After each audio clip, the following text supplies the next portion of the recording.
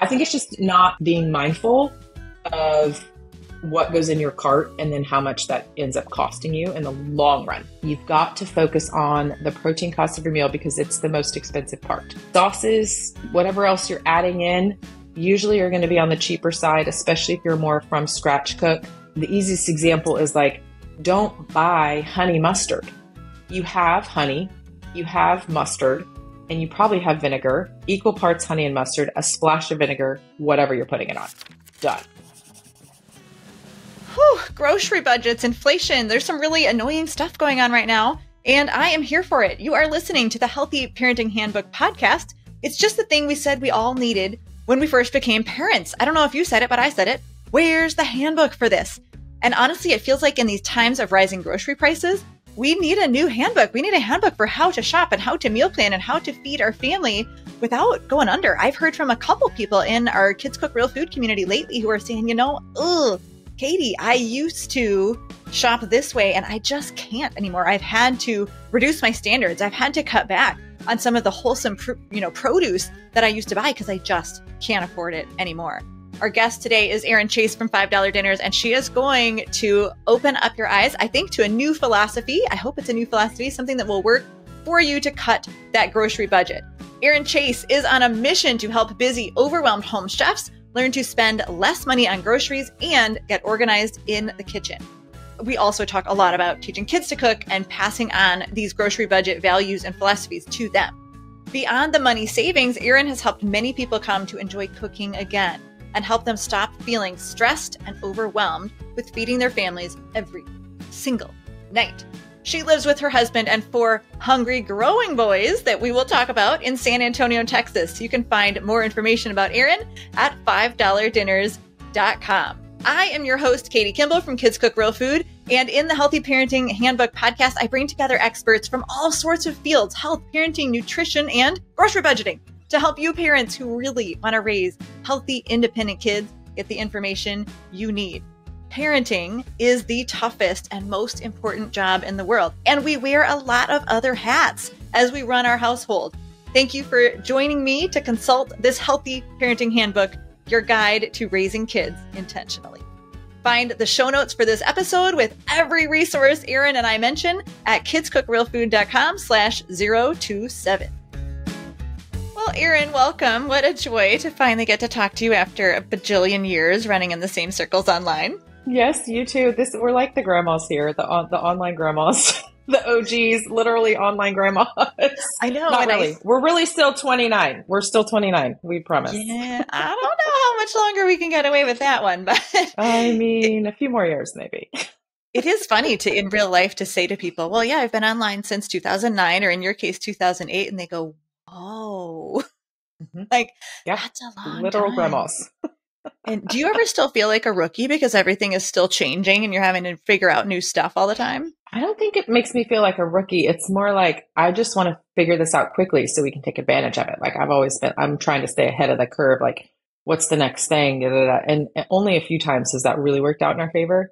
Um, you know, you have to kind of, it's hard to judge like which of these things do you chase down, but it kind of makes it fun. It keeps it interesting. So it's definitely interesting working online. Well, today we get to talk about eh, really, I think, an always changing world. Like the grocery store and couponing and prices, unfortunately, are always changing. And so I think that is going to lend to your authority in the space that you're you're ready for new things all the time and you're adapting. You're not, you're not sitting back and giving advice from 2008. But but catch us up a little bit on on how you got started online way back then and what did you do before you know, you did this whole internet thing, which was clearly not what you wanted to be when you grew up because it didn't exist.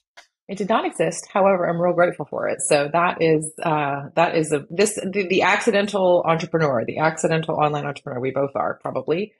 Um, I started looking at how we can cut our grocery budget back in the summer of 2008, which was a very similar um, economic climate that we are in now.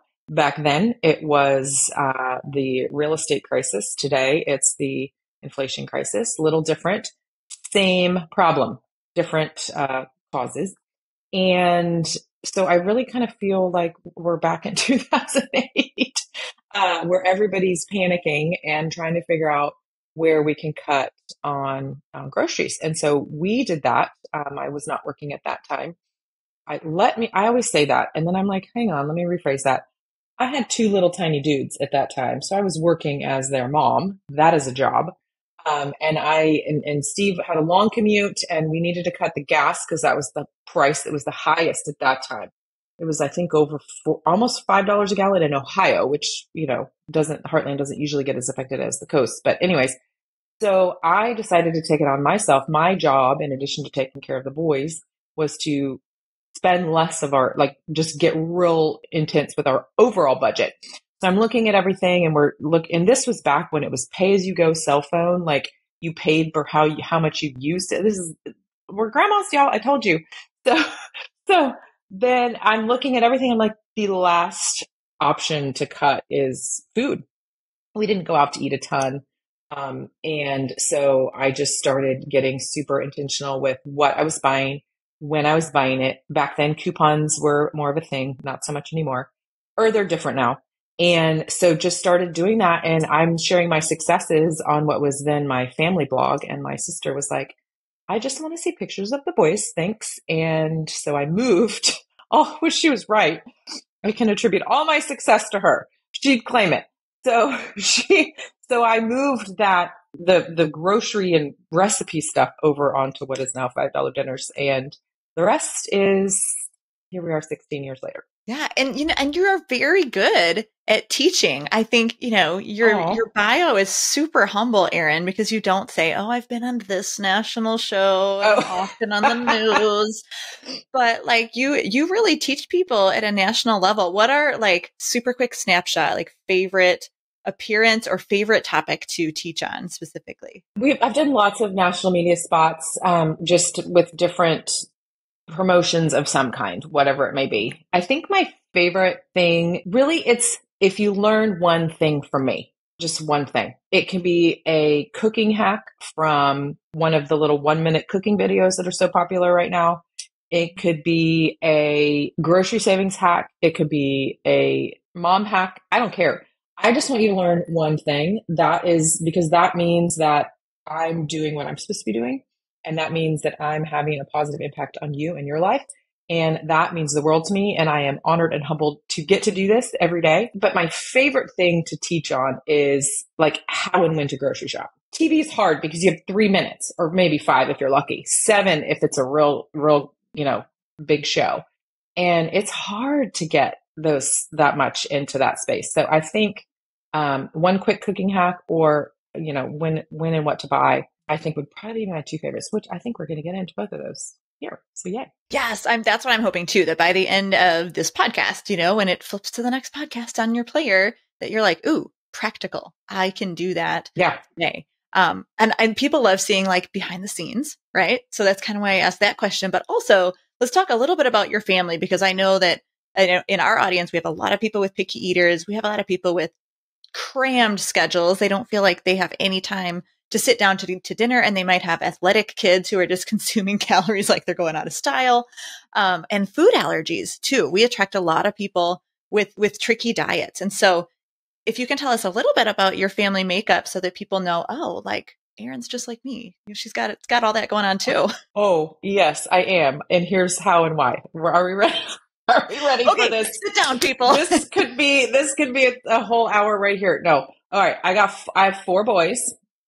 My oldest is a freshman and just finishing up his freshman year in college. He is, I would say, my picky eater on the just he just likes certain things. He's just like certain things certain ways. I think we could probably label him a sensory picky eater. It's not a behavioral power struggle thing. It's just, it's a sensory, uh, he's been to occupational therapy, yada, yada. Okay. So that's number one. Number two, also super active, super high metabolism, just, you know. Number two uh, is a junior in high school. He plays football and basketball.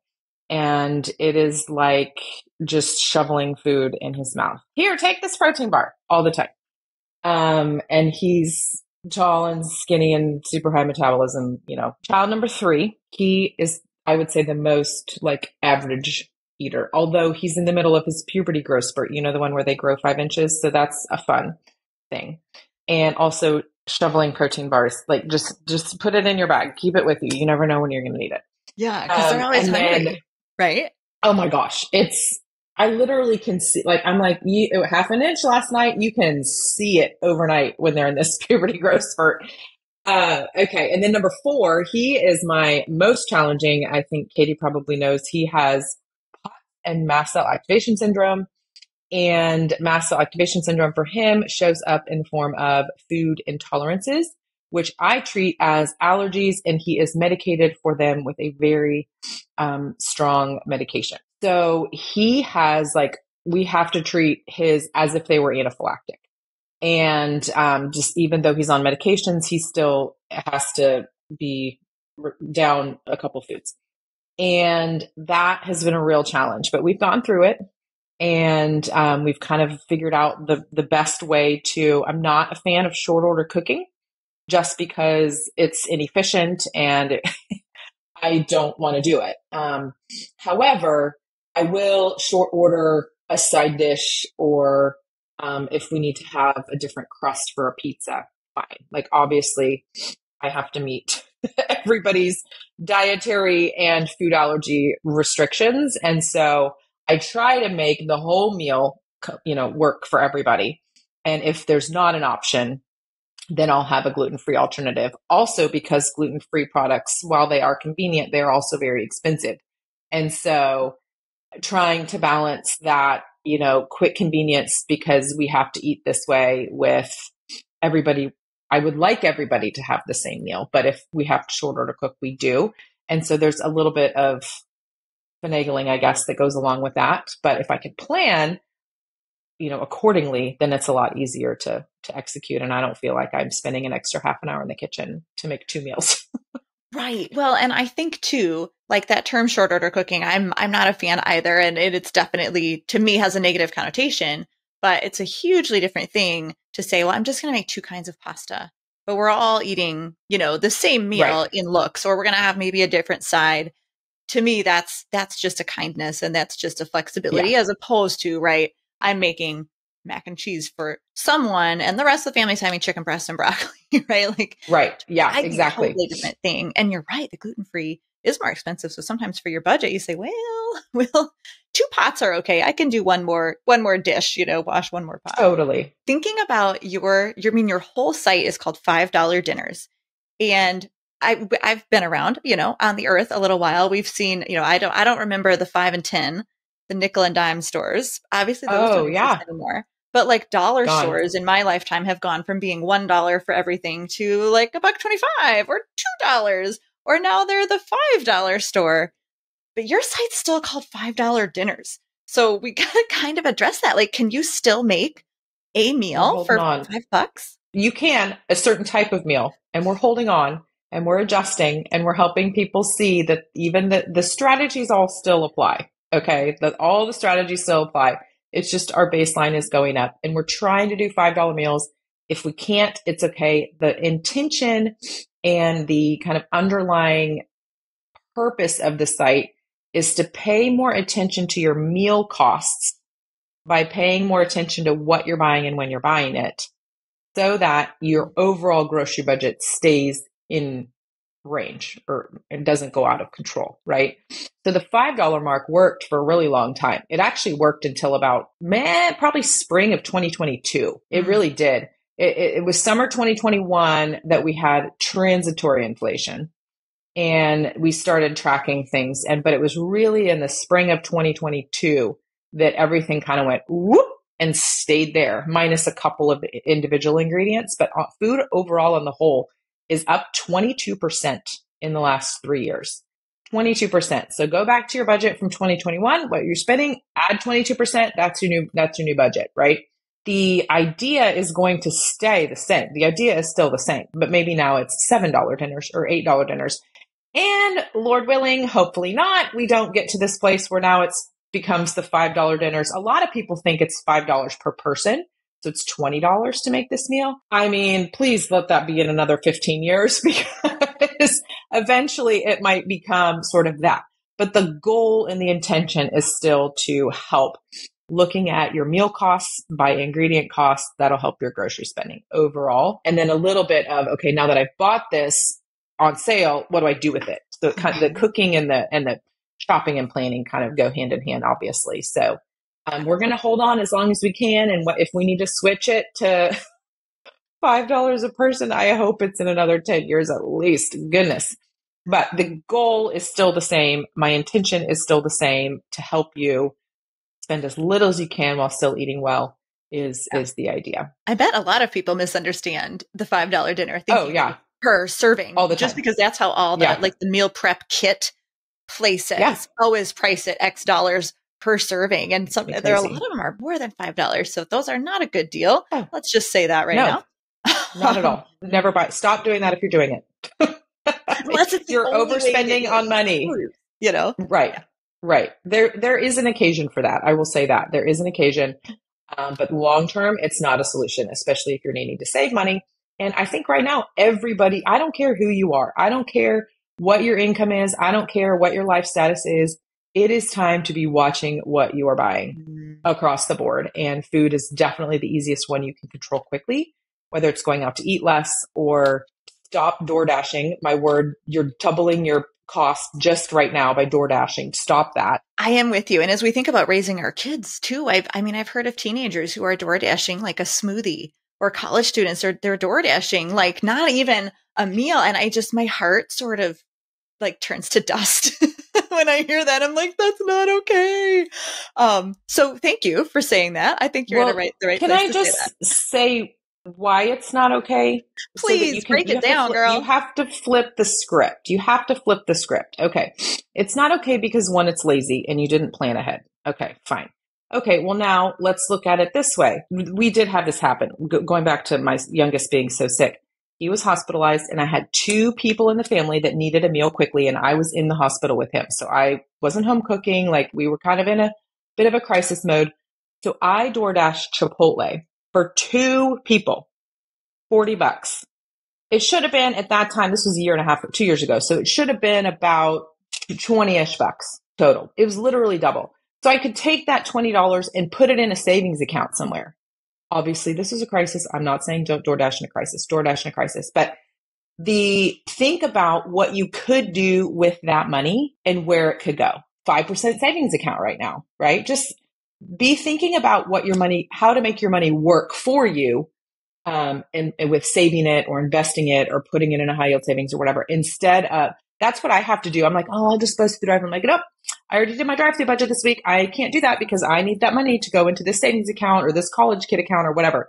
So you have to flip that script so that you're motivated to not overspend when you're in an inconvenient moment, not a crisis moment. That's different.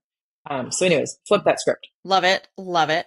And, you know, we're going to talk a little bit about Life Skills Now summer camp at the end, but I have to say there is a workshop on compound interest and how important oh, it is good. to start young and to not let yourself be paying the compound interest and credit card debts. Excellent workshop. So oh, that's awesome. for sure. For sure. And okay, speaking of flipping scripts, Erin, I could almost hear it in your voice when you were saying it's, it's, you know, that your philosophy is to inspect the price of the meal. And I'm thinking there's an instead there. What's the instead? What do people generally do when they're like trying to cut my grocery budget? Uh, I think they do the um, the dance where they go down the aisle and they pick up the things and they just put them in their cart and they're not paying attention and they think they need all these things to make this crazy elaborate meal. Mm-hmm. And then they get home and they already have half of it and they're like, "Oh, I just spent extra hundred dollars I didn't need to spend." I think it's just not being mindful of what goes in your cart and then how much that ends up costing you in the long run. We don't always see it right now, today, this week, even. We're really bad at seeing it on the monthly level. We're really bad at seeing it on the quarterly, and it's impossible to see at the annual level unless you're a super data nerd and you are like studying your QuickBooks or whatever program you use, right? We're, we don't do that naturally because we have to eat every day because we have to cook every day, because we have to go to the grocery store every week or twice a week or whatever. And so we don't like string it together. And then we get to the end of the month or the quarter or the year and we're like, hey, what? Oh, okay. Um, so it's just a matter of just doing it because we have to eat every day but and also just not being mindful of it and not or, and or not tracking it either i think is another big one for people. Yeah well it's brilliant to look at the per meal cost. It's kind of like when you are working on a big project you know a college student has a massive project that's a two month thing or, or us as entrepreneurs we have to break it down into little bits. We can't just say well i have a deadline you know three months from now for this job. I'm just going to work on it Ooh, like you're not going to make it unless you have those milestones and in your system each meal is the milestone. I think a lot of people look at each product as the milestone. Like, ooh, this is on sale.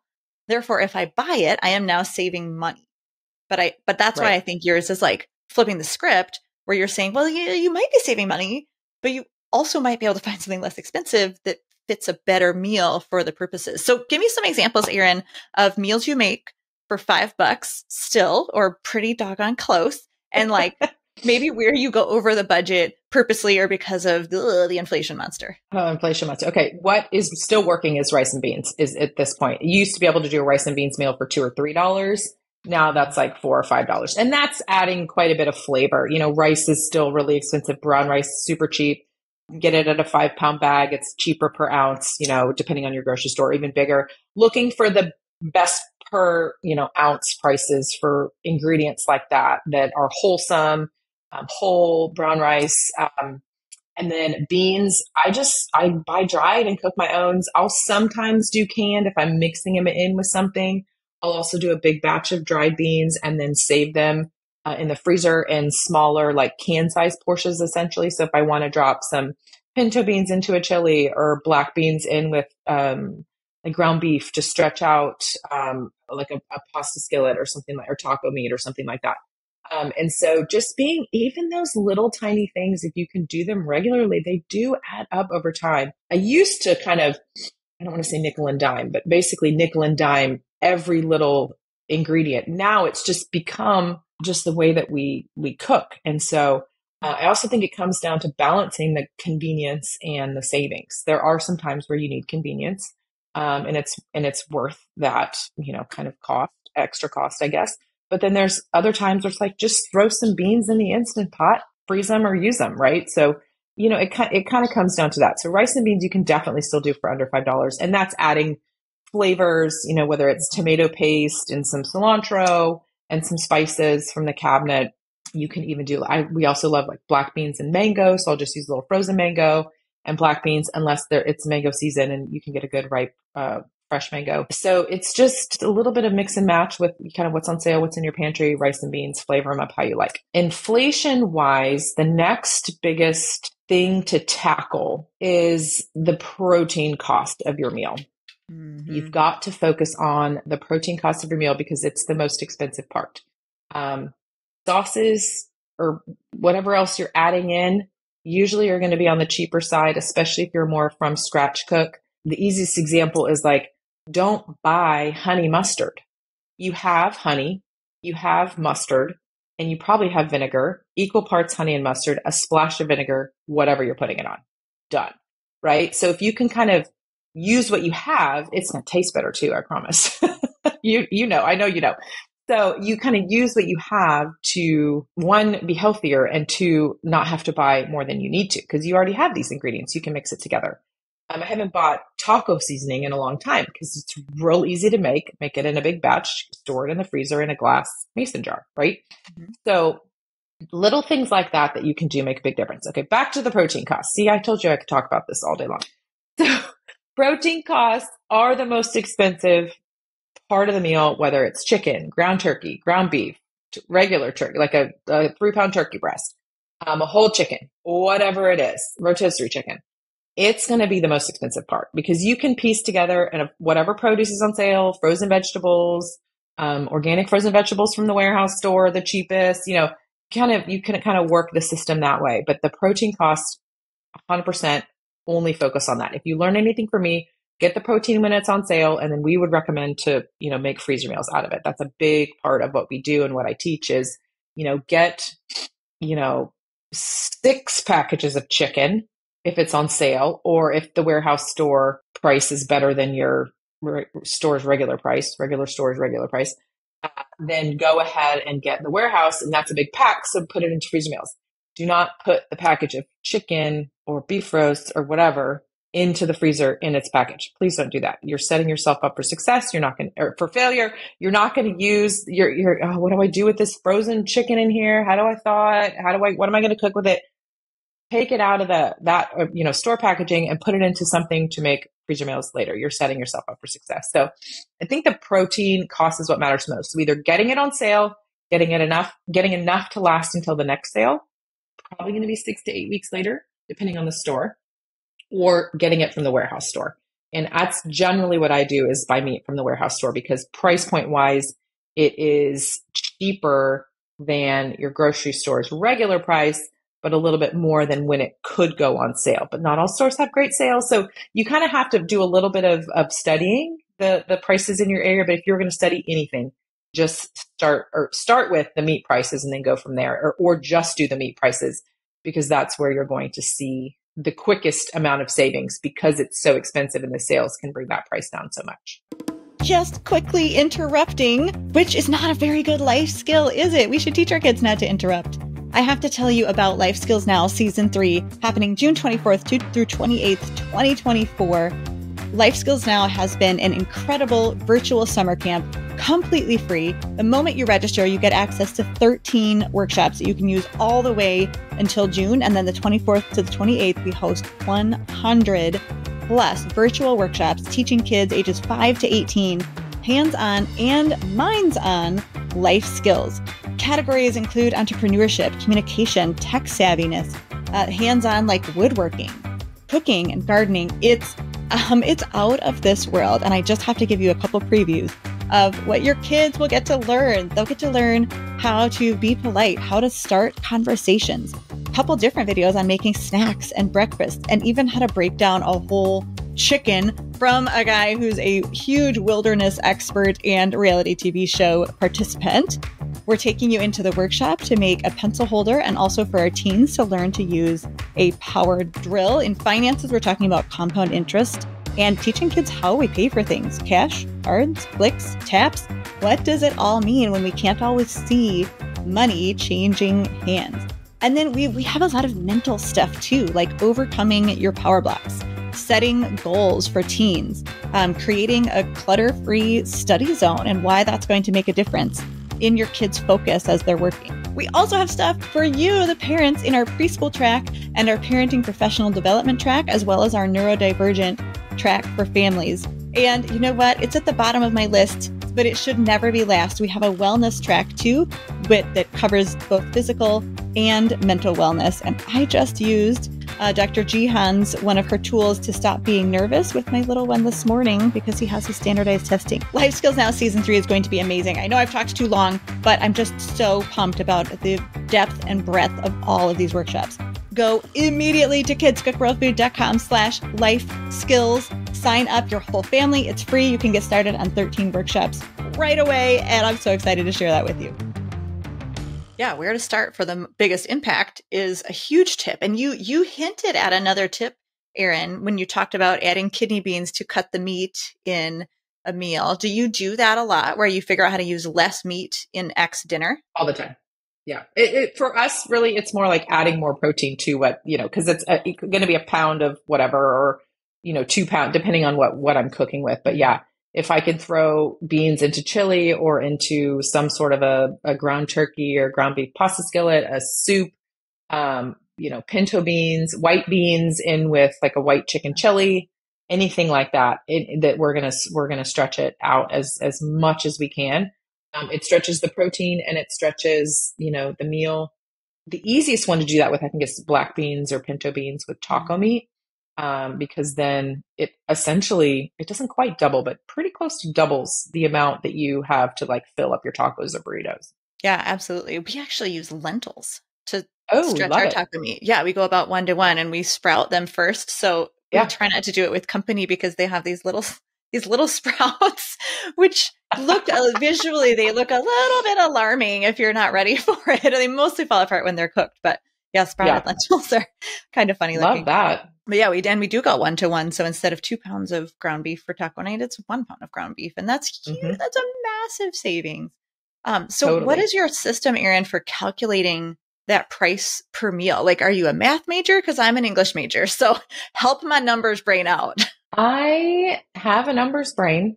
I can say that it, it came, I think, from my grandfather. He was a mathematician. It, it kind of started out as a game and then it sort of turned into, I don't even know how to describe it, like a Rolodex of prices. And it's now like just mainly what we buy. Like I know it's cheaper to buy, it's less like the actual number now as more like, oh, it's cheaper for me to buy gluten free pasta from Trader Joe's mm. than it is from online or from my local grocery store. Right. So now it's more of like, I just know where to buy stuff because I've studied the prices at some point and they also have been changing. So to keep up with the changing prices in the last two years has been has been a lot. It's like, what's the price of eggs this week? What's it this week? I mean, it just, it's constantly changing. So now I, I keep more of the Rolodex of like the things that we buy, this is where I'm buying them from. So I think that it just, it started out as like a game and a challenge and it just sort of turned into this like, let me see how I can mix and match this, you know, ground beef that maybe was on like a store special that I have to cook today, but hmm. it was 25% off. Okay, I'm going to buy that okay, well now well, this is this would have been prices from a few years ago. Well, now that's only two dollars and forty nine cents for this pound. So that's half of the meal cost. What can I add to it? Okay, pasta's probably about fifty cents because I always get pasta when it's either on sale or BOGOed or whatever coupons back in the day. Now it's more BOGO stuff. And then you know what? Okay, let's do some sort of a pasta skillet with this. What can I add to it? Okay, I've got 59 cent tomatoes in the pantry. We're just going to do a super simple Italian pasta skillet, add my own Italian seasonings, done, right? Cheese or no cheese, depending on sprinkle of Parmesan. That's cheap. So that right there, plus maybe a dollar frozen vegetables or whatever it may be. So that's 450, five bucks yeah. with the tomatoes, right? So it's just sort of like a, a little, yeah, I totally just broke it down there. Like with a random pasta, Italian pasta skillet but um, you know, and those prices would be a little more. So now we're looking at more like three ninety nine a pound for the meat. You know, it's a little bit higher. So let's get it to seven. That's fine. But that the purpose is but thinking about how those ingredient prices mix together, whether you got it on sale or you know you get the meat at you know at, at some sort of a store dis, store level discount, which that's going to be varied you know by store. So it just kind of how it pieces together and thinking about how that works at the individual meal cost, then if you can think, do that kind of long term, you'll see like, okay, day to day, meal to meal, day to day, week to week, month to month. And you're like, oh, I just saved spent $300 less this month than I did last month. It happens all the time. Which is so exciting. It kind of sounds like for people just starting out, like when you were talking it, I almost felt like you had a, a $5 bucket. You were like, fill it with the protein and how much what's my head's room? And oh, if the protein is too much, you could do half a pound of ground beef and a can of kidney beans. And now you're, you know, cut and fill. Like that was like I'm I'm visual. So that was my picture in my head as you were talking. I'm like, oh, she's like kind of filling that bucket and seeing how when she gets yeah. to the ceiling of five bucks. I love that. So like, okay, so uh, you probably know the rocks. This is more of a business thing, but rocks. Mm. So the big rock that you're adding to the jar you add first is the protein and then you start adding the little rocks, the little, the medium sized rocks, and then you add the pebbles at the end. The pebbles are going to be spices, maybe minced garlic, little, little bits of things that you are, you know, got in a, in a bulk, you know, big jar of minced garlic and you're just using a little bit at a time. Um, so yeah, I love that analogy. That's fantastic. And I'm guessing when it comes to spices and minced garlic and stuff that you probably wouldn't tell people, let's divide that out and figure out how many teaspoons are in, you know, what you purchased, but more like, make sure you're buying those things as inexpensively as possible, which does probably mean bulk. Whenever you buy bulk, make sure you can use them and then, you know, have like 25 cents left in your in your budget to account for all of that as opposed to writing everything down or having a spreadsheet of your Italian seasoning per teaspoon. Right. Because that's yeah. just going to be too tedious. Yeah. Any of those smaller things that you're buying, like especially spices, I just, I used to price out everything and it, I'd have, I've stopped doing that. But I would just put three to five cents on each one of those as just kind of like a, here's how we round it out because you do have to spend money on those things, but mm-hmm. it's not that me spending money on it this week only affects this week. It, that spice, especially if it's a bigger jar, you can do if you're warehouse shopper, that's going to last up to a year depending on what it is and how often you're using it. And so I think it is important to be mindful of there are those little smaller costs, but overall, they're not going to add a ton to your mm-hmm. grocery budget in the long run. So when we think about parenting and passing this on, obviously part of parenting is the the shoveling of the calories into the child and trying to keep them both nourished and healthy. But but part of it is like, how do we pass this on to our kids? So I would love to hear about how your boys help in the kitchen and, and maybe how you discuss the budget part, just because I mean my audience is pretty good at getting their kids in the kitchen, but this is a whole other layer of, of what you're doing with the budget? I think it's just involving them on the on the planning side, like before you get into the kitchen and, and looking at, okay, this is how much we're spending. This is how I do shopping lists. This is how I plan um, what I'm going to buy, right? And just making sure that they're aware of like, oh, that actually costs a lot of money. Hmm, thanks, mom. you know? So I think it's it's part of it is is involving them on that, and then part of it's just talking about okay, this is why we're adding beans to the chili or to the pasta skillet or to the taco meat or whatever. Like this is why that, that why we do that and, and showing it and talking about it, I think is really important. And they they'll just pick up these little nuggets. And when it comes time for them to get to that point in their life when they're going out and shopping and cooking and stuff on their own, then it's like, hey, what do I do about that again? How, remind me how we did this. And you know, because there's a little little gap when you're cooking somewhere new at college or you know as a young adult or whatever. And so um, but but it's just kind of I think at this point it's kind of planting the seeds and then you know showing and demonstrating them, having them in the kitchen there with you. I think is really important. It like leaves that knowledge there in the back of their brain that there's a question they need to ask. There's something they yeah. need to do with budget, yeah. as opposed to I want a smoothie. I'm going to DoorDash it. You know, um, ah, I know you and I are both like, not my kid. We actually, my kids don't often get to see the grocery shopping process because they're in school, but we happened to be all in a grocery store just yesterday. And my nine year old was like, what, how, what was that number? How much did you pay? Whoa. and then we're doing night prayer. And he was like, God bless mom's business because she just spent a lot of money feeding us today. And it was so sweet and cute, but also kind of eye opening. Like, oh, you know, we, we do need to narrate. We need to narrate what we do, just like we did when they were toddlers, right? That's how they learn language. We just sort of like narrate everything we do when they're infants and toddlers. Don't stop, parents. Do right? yeah, because tweens and teens. Yeah, because they're not learning this in school. No. They're not learning money management in school. They're not learning how to cook. They're not learning how to manage finances. I think it's really important to have those conversations to let them kind of see kind of behind the scenes things that they're not normally paying attention to um, because they'll have those moments like your, your kiddo did. Absolutely. So you almost, I, I don't know if you tried to set that up, but that's what we do in life skills now, right? We teach the financing, we teach the budgeting and the entrepreneurship, but it's literally like, what are you, what are they not getting in schools? Let's do that in the summer in a really fun, engaging way. Erin, can you just preview what your workshop is in life skills now and how it's going to be a game changer for families? So we're going to cook this meal now, and then we're going to put another version away into the freezer so that you have an easy option to cook later, is the idea. So you're doubling your food and cutting the time because I'm all about efficiency. Um, efficiency with budget, which is what we've been talking about, but then also with the execution in the kitchen um, and if your kiddo and you want double the bonus points in this one, you would work with a recipe that your family likes and you would get the meat, whatever the meat is, whether it's the ground turkey, the chicken breast, the chicken thighs, whatever. You would get that on sale and then you would make the meal now. You would double it for later. So you're saving later and you're saving now. So that would be the ultimate challenge uh, and the ultimate alignment of what we're talking about here in the podcast and then what happens in um, my lesson. Yes, it's so cool. So it's a, it's just a great primer on like basically how to make a simple meal, how to think about, you know, maybe ma- adapting a little, making it your own, but also how to freezer cook, which that's where it's such a game changer for families is how do you, it's called taco soup and how to cook double the food in half the time. How do you cook double in about the same amount of time as you would cook one meal and then put that freezer to your advantage. You know, we live in the age of electricity. Let's yeah. let's use it.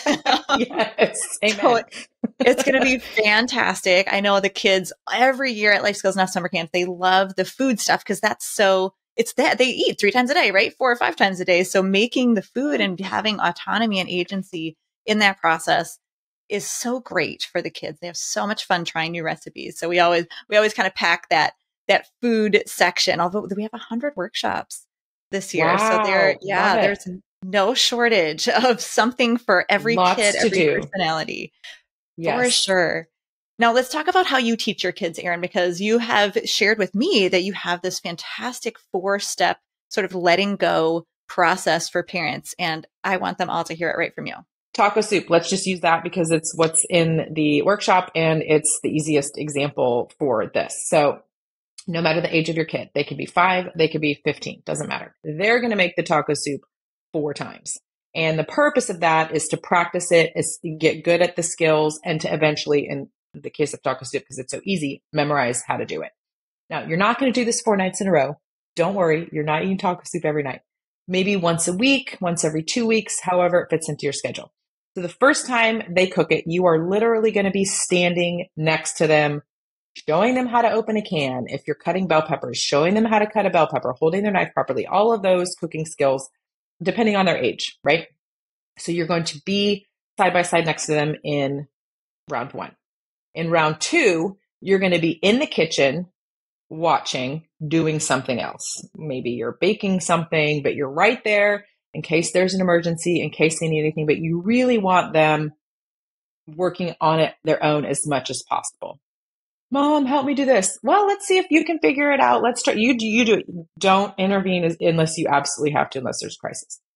The third time is you're going to be um, maybe in the living room, listening to a podcast, reading a book, folding laundry, whatever you do. Who sits down and listens to a book in the middle of the day? Not me, but whatever you do, you're going to be nearby, but not in the kitchen the third time. The last time they make it, you're going to show up at the dinner table and dinner's going to be done.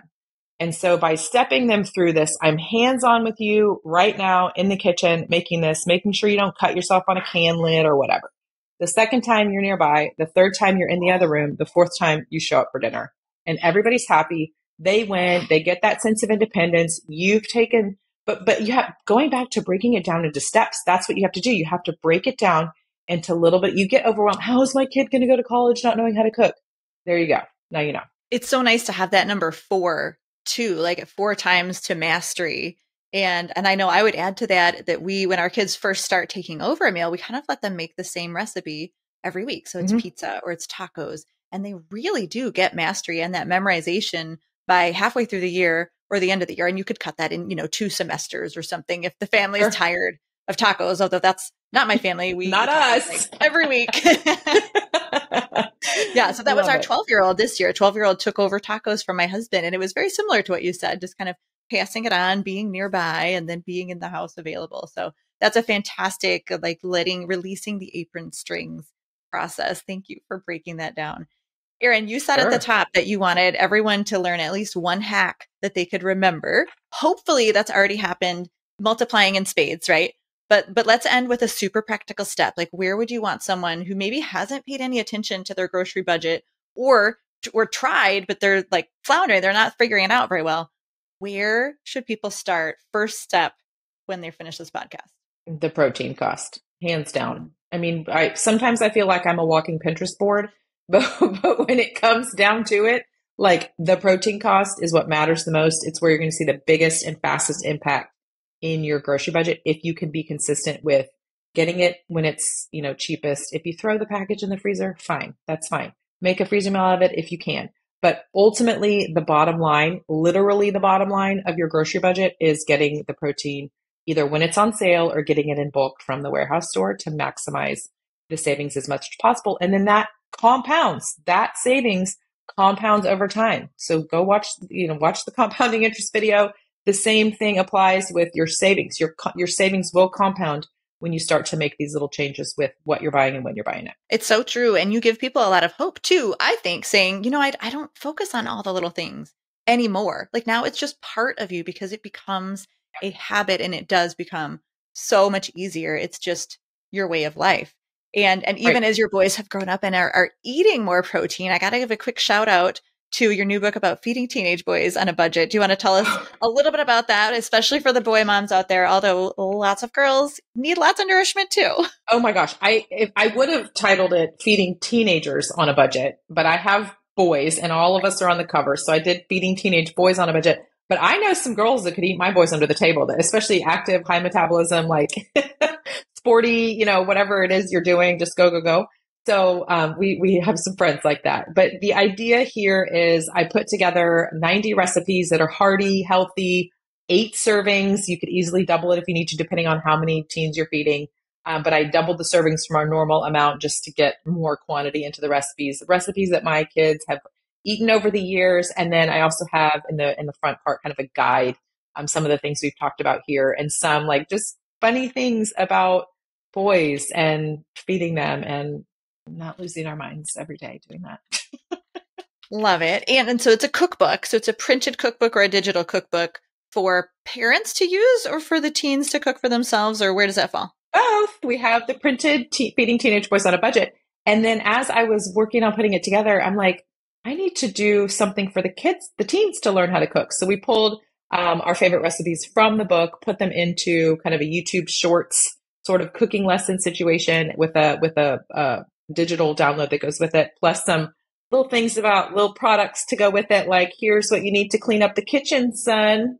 Here's a little scrubby to clean the kitchen. So we kind of try to pull it together uh, with a bundle of products that would be make the most sense for teens cooking and teens cleaning up after themselves in the kitchen. That is so cool and and just so appropriate. Like teens want to watch these little short videos right? And um, yep. yeah, I'm very excited to to share that with our audience. And honestly, we have a lot of people in my audience with more than two kids because people with more than two kids need their kids to cook more than the people with you know with one child. Their their schedules are just a little bit lighter. So the eight servings yes. alone is I'm like music to my ears. Like I don't have to do math before I do dinner. Yay!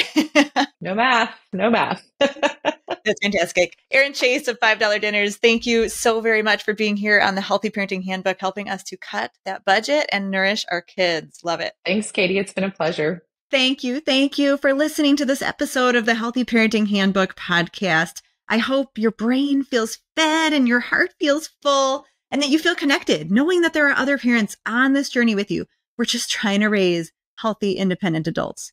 And you know, the next time you think, man, there is no handbook for this job. Now there is the Healthy Parenting Handbook. Look up the podcast wherever you listen to your podcasts. Please leave a review, my friends, as that helps other parents who need this information to find us. And of course, subscribe, subscribe, subscribe. That's a huge help. You can also look for our shorts as a reel on Instagram at Katie Kimball Kids Cook or subscribe to the Healthy Parenting Handbook Shorts channel on YouTube you'll get those bite sized portions of healthy parenting advice.